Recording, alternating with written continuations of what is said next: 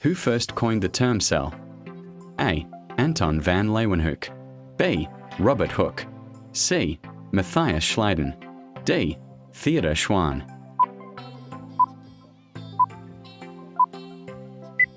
Answer B.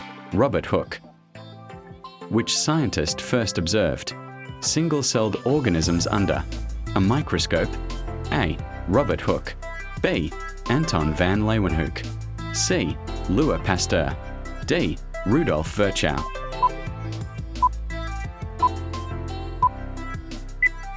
Answer B. Anton van Leeuwenhoek. In what year did Robert Hooke observe cells in cork? A. 1665. B. 1674. C. 1800. D. 1839.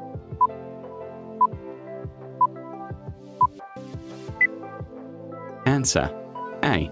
1665.